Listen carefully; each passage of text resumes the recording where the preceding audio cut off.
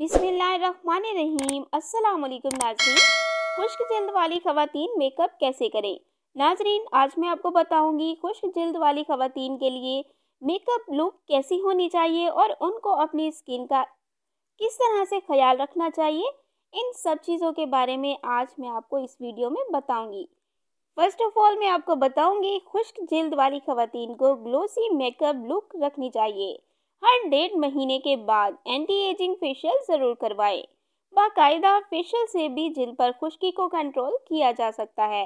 Makeup base के लिए खुश्क जिल पर टीवी स्टिक और बेबी स्टिक बहुत मौजूद समझी जाती है, जबकि ऑयली जिल वाली खातन को इनके इस्तेमाल से परहेज़ करना चाहिए। फेशियल करवाने के एक हफ़्ते तक चेहरे पर कॉस्मेटिक्स का इस्तेमाल ना करें, क्योंकि इससे चेहरे पर वाइट हैंड्स बन जाते हैं। फेशियल करवाने के बाद आप अपनी जिल्द की नोयत के मुताबिक सन ब्लॉक का इस्तेमाल लाजमी करें। थैंक्स फॉर वॉचिंग वीडियो अच्छी लगी है तो वीडियो को लाइक करें, हमारे चैनल को सब्सक्राइब करें। शुक्रिया।